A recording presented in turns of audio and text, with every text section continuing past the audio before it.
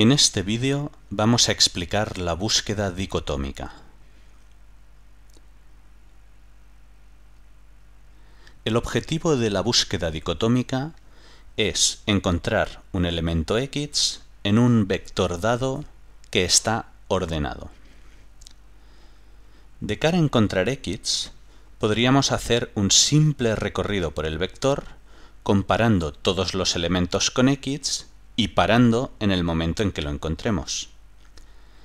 Sin embargo, eso tendría un coste proporcional a la longitud del vector, porque estamos dando tantos pasos en caso peor como elementos tiene el vector. El caso peor sería cuando el propio x no está en el vector o lo encontramos en el último momento.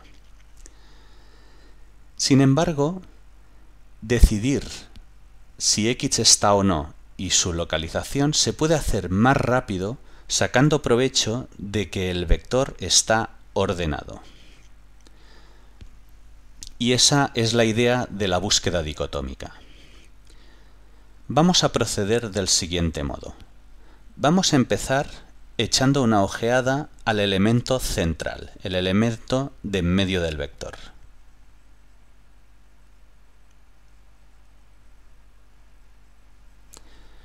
Ahí vamos a encontrar un elemento E que vamos a comparar con X. Si E coincide con X, ya lo hemos encontrado. Y terminamos la búsqueda. Ahora bien, en caso contrario, podría ser, podría suceder, que E sea o mayor estricto que X o menor estricto que X. Supongamos, por ejemplo, que E es mayor estricto que X.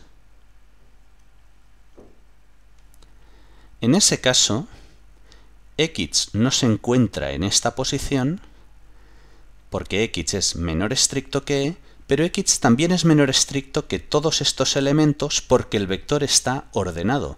Por tanto, x tampoco se va a encontrar en este subvector. De modo que a partir de este momento podemos descartar todos estos elementos en el espacio de búsqueda de x y nos podemos centrar únicamente en este subvector.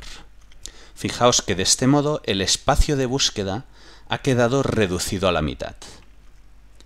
Supongamos ahora el caso contrario, es decir, que x es mayor que este elemento.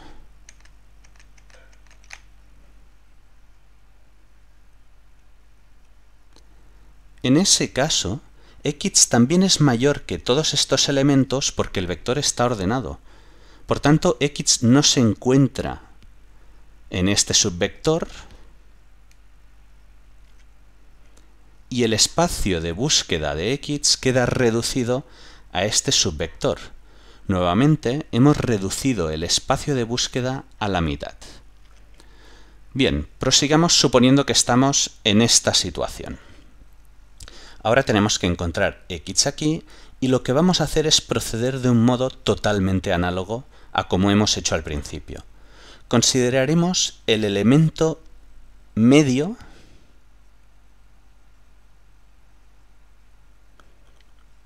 de este subvector, llamémosle E'. Si por ejemplo E' coincide con X, ya hemos terminado la búsqueda, pero en caso contrario podría suceder o bien que x sea menor estricto que e' o que x sea mayor estricto que e'. Si por ejemplo x es mayor estricto que e', entonces también es mayor estricto que todos estos elementos porque el vector está ordenado, de modo que podríamos olvidarnos de estos elementos en la búsqueda de x y el espacio de búsqueda de x queda reducido a la mitad. Alternativamente, x podría ser menor estricto que e', pero si esto sucede, entonces x también es menor estricto que todos estos elementos, por tanto no es necesario que sigamos buscando x aquí, y como antes hemos reducido el espacio de búsqueda de x a la mitad y así sucesivamente iremos procediendo hasta que o bien encontremos x o bien ya no nos queden más elementos por mirar en el vector. Lo importante de todo esto es que en un solo paso se reduce el espacio donde hemos de buscar x a la mitad cada vez. Por tanto, si el tamaño de este vector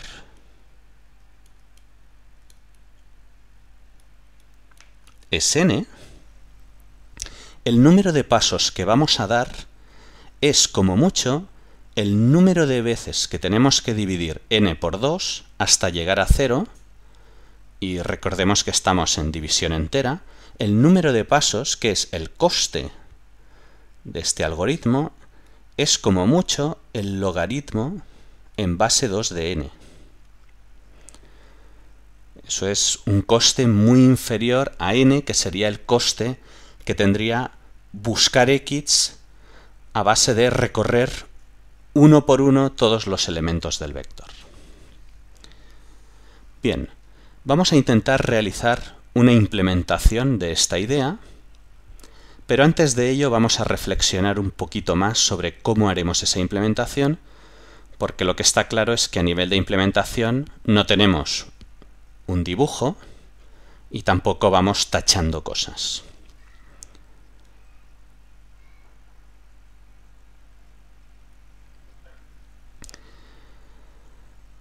Lo que vamos a hacer es tener dos índices, uno de ellos lo llamaremos índice inferior o IINF, que apuntará inicialmente a la primera posición del vector, que es la posición 0, y el otro índice, que se llamará índice superior o ISUP, apuntará a la última posición del vector, que es la n-1. En todo momento nos vamos a asegurar que si x se encuentra en el vector, entonces necesariamente se encuentra entre las posiciones inf e isub. Fijaos que esto es cierto al principio, porque inf apunta a la primera posición e isub apunta a la última. En un primer paso nos vamos a mirar el elemento del medio. Para, determinar esta posición media, vamos a hacerlo simplemente calculando el promedio entre inf e isub. Llamaremos índice medio o IMET a esta posición y como hemos dicho, se obtiene haciendo el promedio entre IINF e ISUB. Imaginemos, por ejemplo, que el elemento E que encontramos allí es mayor que x, mayor estricto que x. En ese caso sabemos que x no se encuentra en ninguna de estas posiciones porque el vector está ordenado, por tanto lo que hacemos es tacharlas. Para representar el hecho de tachar este vector, simplemente lo que vamos a hacer es asignar a isub imet menos 1, es decir, mover isub a la posición inmediatamente anterior a imet.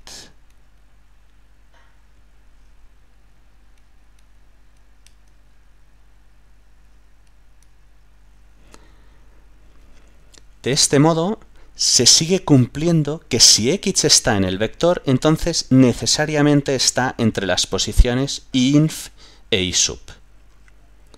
Ahora miraríamos el siguiente elemento intermedio.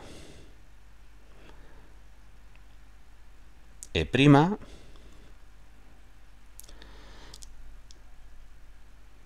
Este sería el nuevo imet que calcularíamos exactamente igual que antes, haciendo el promedio entre inf y el isub actual.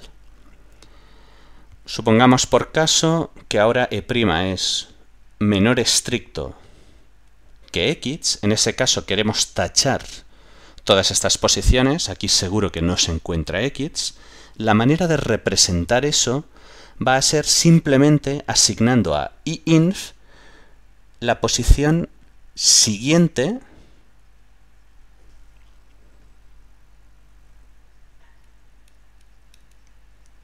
la posición siguiente a IMET.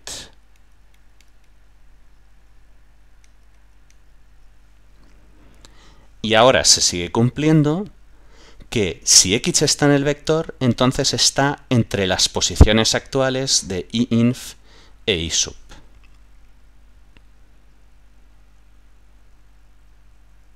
Fijaos en que a cada paso estamos preservando esta propiedad que hemos comentado.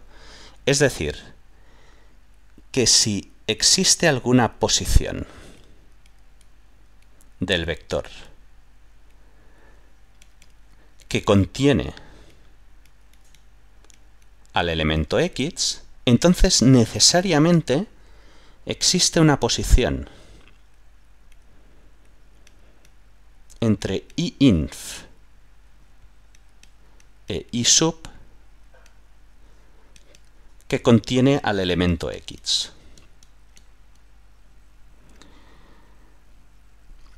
Al principio se está cumpliendo que inf es una posición anterior a isub, o por lo menos es menor o igual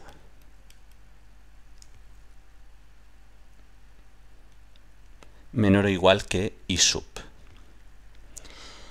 Si esto se cumple, cosa que al principio es cierta, entonces necesariamente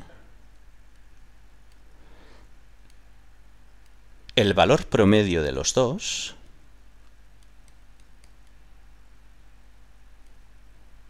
es mayor o igual que inf. Está claro que si esto es mayor que esto, este valor es mayor que este.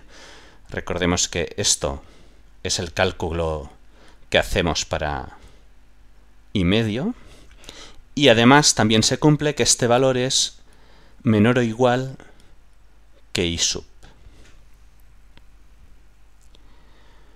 Por lo tanto, podemos deducir que a cada paso, cada paso desde el cual se dé esta condición, la expresión i sub menos i inf va a decrecer, porque o bien a i sub se le asigna med menos 1, que será un valor estrictamente menor que i sub, por tanto i sub decrece, o bien a inf se le asigna med más 1, med más 1, que será un valor estrictamente mayor que inf, de modo que este valor está creciendo y por tanto esta expresión está decreciendo. Por lo tanto, a cada paso realmente el espacio de búsqueda decrece estrictamente, por lo que tarde o temprano va a suceder, si no encontramos x antes, que inf va a ser mayor estricto que isub. En este caso, fijaos, si inf es mayor estricto que isub, este rango es vacío. No hay ningún elemento en este rango, por tanto no existe no existe esa posición que contenga x en este rango, pero es que entonces si esto es falso, como que esto es una implicación, esto también es falso, es decir, x no está en ninguna posición del vector. O sea que si llegamos a esta situación, automáticamente podemos deducir que x x no está o no aparece en V o no está contenido en V. Bien, con todo esto que hemos estado comentando, ya tenemos información más que suficiente para llevar a cabo nuestra implementación.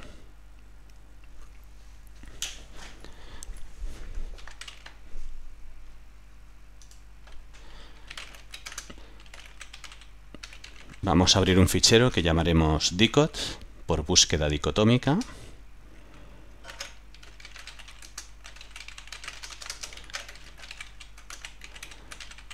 Incluimos la librería vector también porque la vamos a necesitar para almacenar nuestro vector.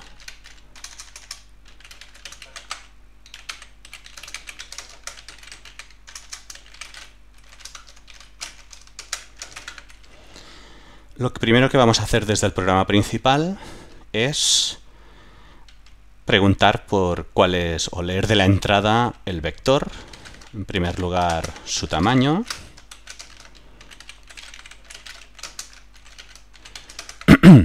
y a continuación leemos todos los elementos del vector y una vez hecho esto, lo que vamos a hacer es ir leyendo valores x de entrada y vamos a ir escribiendo por pantalla su posición en el vector si es que ésta existe y por ejemplo escribiremos menos 1 si es que se da el caso de que x no se encuentra en el vector.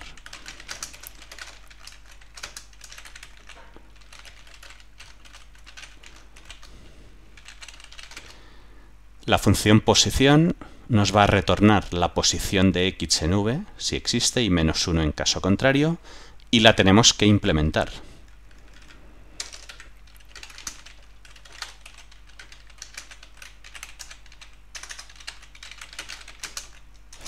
Fijaos, el vector v conviene que lo pasemos por referencia, porque si lo pasásemos por valor, entonces el coste de esta función, en vez de ser logarítmico, sería lineal, porque tendríamos que hacer, o se estaría haciendo a nivel interno, la copia de todo v. Por tanto, es importante el paso por referencia. Y bien, llegados a este punto, lo que hacemos es proceder como hemos descrito antes. Tendremos una variable iinf que al principio apunta a la primera posición del vector, y una variable isub que apunta a la última posición del vector. Mientras iinf sea menor o igual que isub, continuamos la búsqueda, determinamos una posición intermedia a base de hacer el promedio entre el índice inferior y el índice superior. En el caso en que x se encuentre exactamente en esta posición intermedia, ya hemos encontrado una posición donde se encuentra x y la retornamos. En caso contrario, si v de imet es menor estricto que x, entonces ya sabemos que x no se encuentra en imet, pero tampoco se encuentra en ninguna posición anterior. Por tanto, lo que hacemos es mover iinf o reasignar iinf a imet más 1. En caso contrario, si v de imet es mayor estricto que x, fijaos que esta condición seguro que se cumple en estos momentos, porque estamos en el else del caso anterior, sin embargo la vamos a dejar por claridad. En caso de que x sea menor estricto que v de imet, incluso vamos a escribirlo, escribirlo así. Esto quizá resulte más claro. En caso de que x sea menor estricto que v de imet, sabemos que x no está en imet ni en ninguna posición más grande. En este momento, y sub lo asignamos a imet menos 1. Y ya está. Con esto hemos terminado nuestra implementación, aunque bueno, nos falta el caso en que salgamos del bucle. Como ya hemos comentado anteriormente, si salimos del bucle no se está cumpliendo que inf sea menor o igual que isub, por lo tanto inf será mayor estricto que isub, y en este caso, como ya hemos argumentado, el elemento no está en el vector. En este caso, como ya hemos dicho antes, devolvemos un menos 1. Bien, vamos a comprobar si esta implementación funciona.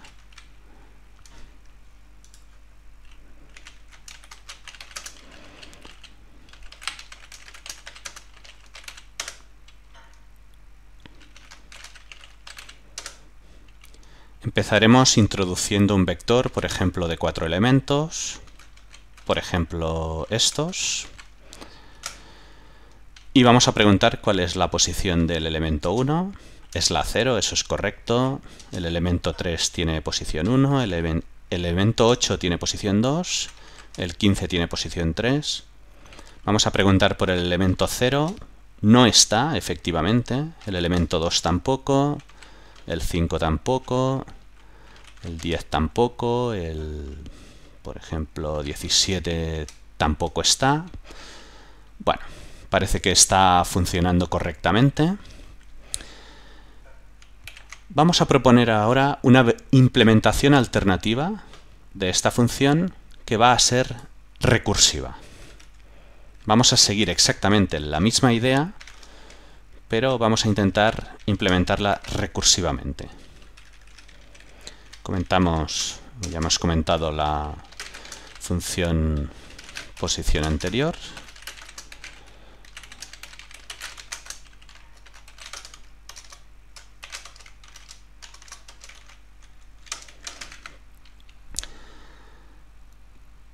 Para implementar esta función recursivamente, los índices inferior y superior de algún modo deben irse gestionando recursivamente y tendríamos que pasarlos como parámetro.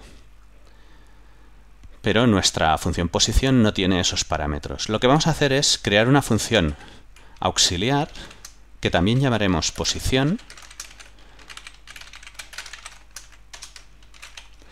pero que además de recibir los parámetros de la función original de posición, también recibirá índice inferior e índice superior. El objetivo de esta función es retornar la posición de x que se halle entre índice inferior e índice superior si efectivamente x aparece en v entre esos índices y en caso contrario retornar 1. Fijaos que si hacemos bien esta, esta nueva función, entonces la función original no tiene más que llamar a la función posición pasando como índice inferior el primer, la primera posición del vector y como índice superior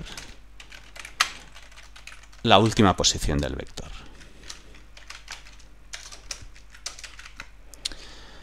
Bien, para la función recursiva Fijaos que en el caso particular en que índice inferior sea mayor estricto que índice superior, entonces x no se puede encontrar entre esos índices porque nos dan un rango vacío. Por lo tanto, en este caso, no existe tal posición con x. Ahora lo que vamos a hacer es, como que estamos en el caso en que índice inferior es menor o igual que índice superior, vamos a determinar primero una posición intermedia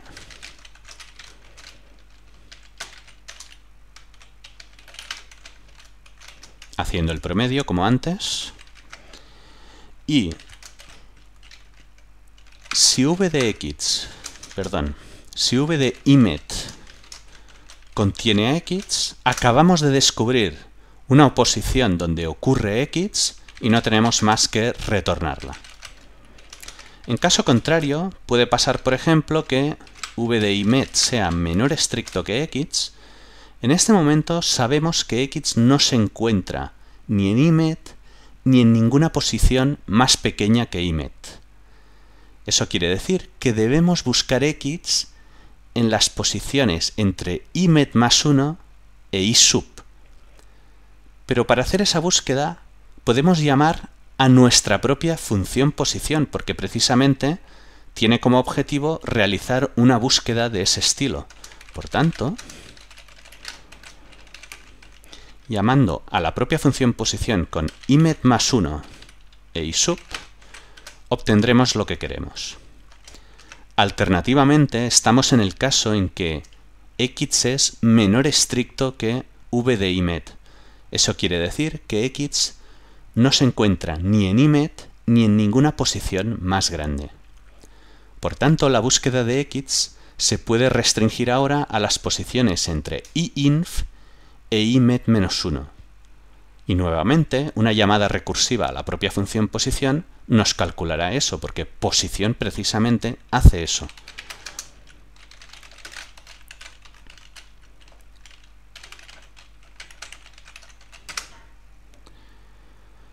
Fijaos que a cada llamada está decreciendo la expresión que antes ya habíamos comentado, que es isub menos inf,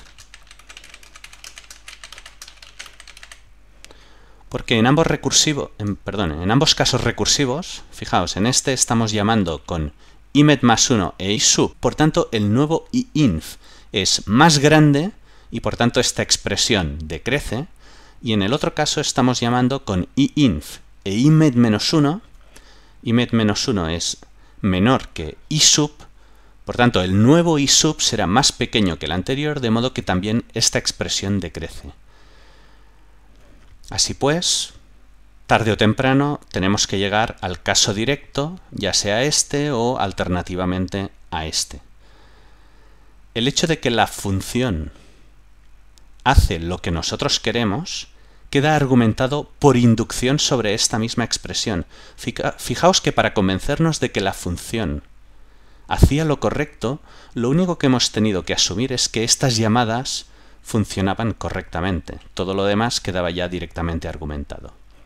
Así pues, una demostración inductiva nos convence de que la función es correcta a menos que tengamos algún gazapo. Vamos a comprobar si esta nueva implementación funciona.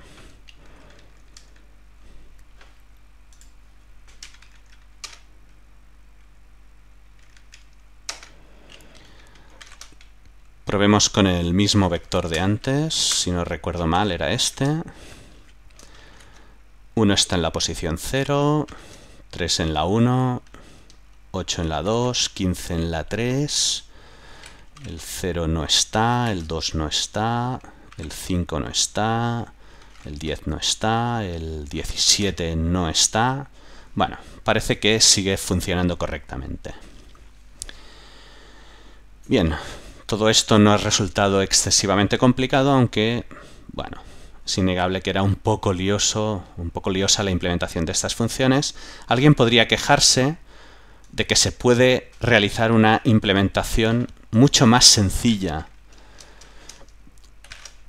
de posición, o se puede crear una función posición mucho más simple y que haga exactamente lo mismo,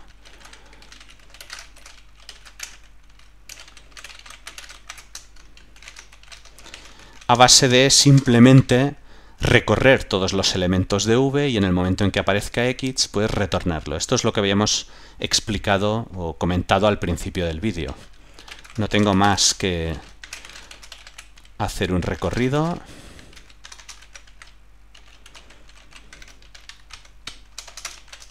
Y en el momento en que la posición que, que estemos mirando contiene x, pues esa es una posición conteniendo x, la retornamos tal cual, y si tras recorrer todo el vector no hemos encontrado ninguna posición que contenga x, simplemente devolvemos menos 1. Fijaos que esto no nos ha costado casi ningún esfuerzo, comprobemos que no hay ningún gazapo y que, que funciona correctamente.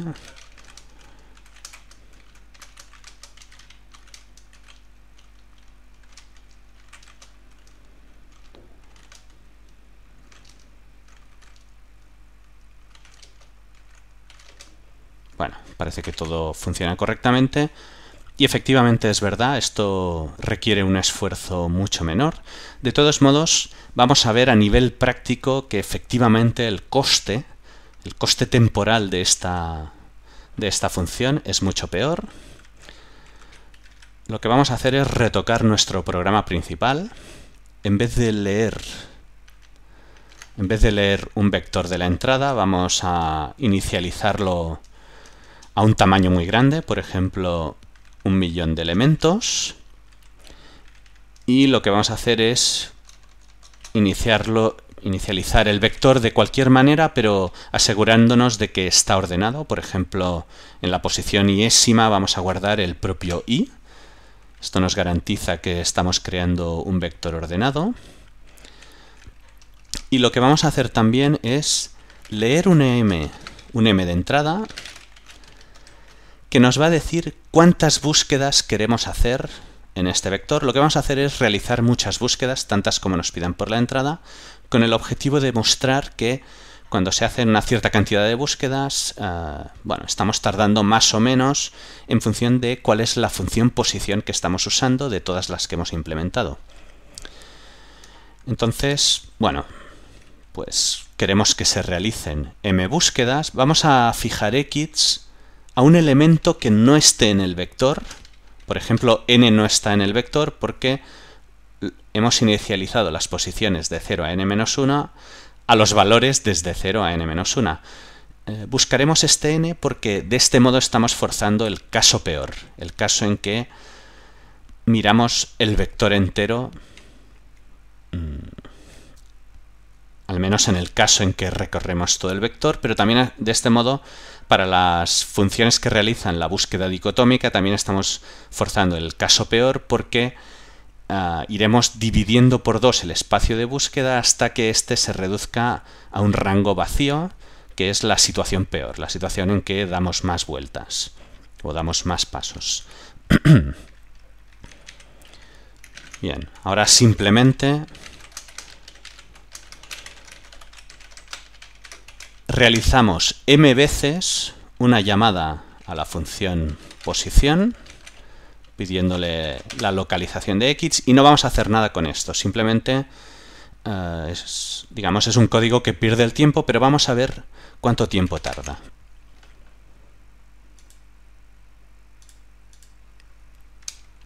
Compilamos de nuevo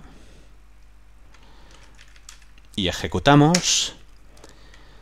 Nos, bueno, el programa espera leer una cierta m de entrada que es el número de búsquedas. El número de búsquedas que se van a hacer. Por ejemplo, le pedimos que haga una búsqueda sobre este vector de un millón de elementos. Esto acaba inmediatamente. Pidámosle que realice cinco búsquedas. Parece que ha habido un pequeño lapso de tiempo. Pidámosle 10 búsquedas. Le cuesta un poco más. 20 búsquedas. Ya ha tardado un poco, a la que nos vamos a 50 búsquedas, por ejemplo. Se está unos segundos. Bueno. Vamos a probar ahora a ver qué pasa si en vez de utilizar esta función posición, que tiene coste lineal, utilizamos la versión la versión recursiva que realiza la búsqueda dicotómica. Compilamos, perdón, compilamos nuevamente. Veamos qué pasa con 20 búsquedas. Acabado inmediatamente. Probemos con 50 búsquedas. Acaba inmediatamente. Probemos directamente con 1000 búsquedas. Acaba inmediatamente. Eh, vayamos directamente a 100.000 búsquedas. Parece que haya habido un pequeño lapso de tiempo. Probemos un millón.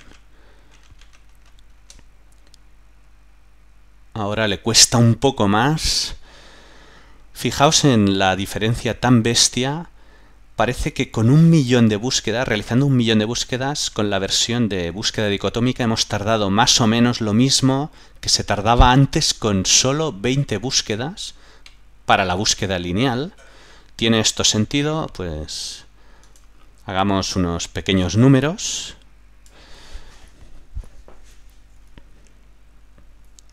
Fijaos, en un caso estamos haciendo 20 búsquedas que implican un recorrido sobre un vector de un millón de elementos.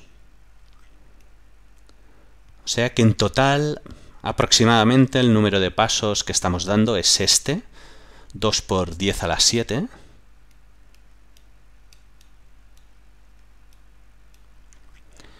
En el caso de la búsqueda dicotómica, estamos haciendo un millón de búsquedas, pero cada una tarda logaritmo en base 2 del tamaño del vector. El tamaño del vector también es un millón.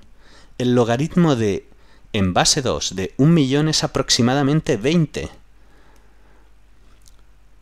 Por tanto, nuevamente tenemos así calculado muy a grosso modo 2 por 10 a las 7 pasos. De ahí que no sea, no sea de sorprender que más o menos tengamos el mismo tiempo de ejecución en un caso y en otro. Bien, esto ya nos convence tanto a nivel teórico como a nivel práctico que el coste de la búsqueda dicotómica es muy inferior al coste de la búsqueda lineal. Alguien se podría preguntar todavía uh, sobre si existe una diferencia muy sustanciosa entre la búsqueda dicotómica recursiva y la búsqueda dicotómica iterativa.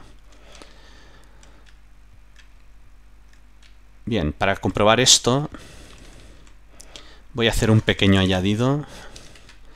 Aquí Justo antes de empezar la búsqueda voy a escribir por pantalla, voy a pedirle al sistema que escriba por pantalla la fecha y hora actual y al final de todo también. De este modo nos haremos una, una pequeña idea de cuánto está tardando esta búsqueda, muy a grosso modo, por supuesto, porque estamos escribiendo segundos. Para poder utilizar esta función system hemos de incluir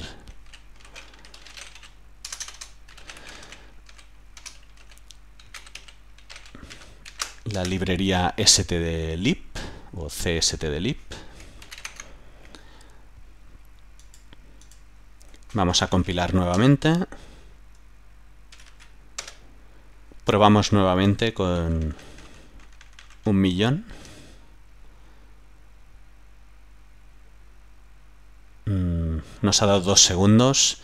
La verdad es que esto, este cálculo lo estamos haciendo tan a grosso modo que esto no va, no va... Dos segundos son muy poco significativos. Vamos a darle un tamaño de 5 millones, por ejemplo. Son 5 veces más búsquedas que antes.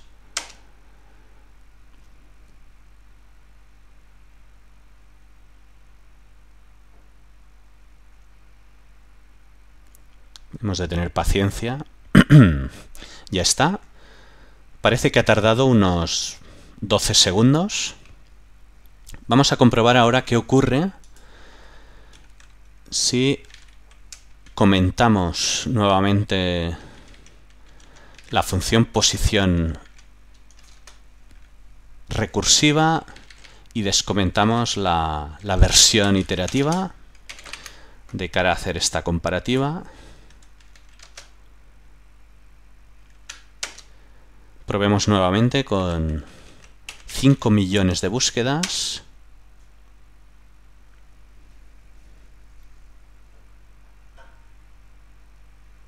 Un poco de paciencia. Parece que también le lleva mucho tiempo. En este caso nos, nos está marcando 10 segundos. Es un poquito más rápida la versión iterativa, pero realmente no, no marca grandes diferencias. Por lo tanto, digamos que en este caso, mm, quien sea partidario o, le guste más una, una versión recursiva como la que hemos visto hace un momento, una versión recursiva como esta, es posible que, que, a alguien le guste o considere esto mucho más estético que esto, pues puede elegir la versión recursiva antes que la iterativa y no va a salir perdiendo demasiado. De hecho, en ambos casos el coste de cada búsqueda es logarítmico, al menos cuando hacemos el, cálculo teórico. Por lo tanto, y bueno, como hemos visto desde un punto de vista práctico, tampoco tiene demasiada importancia. Bien, con esto terminamos esta explicación.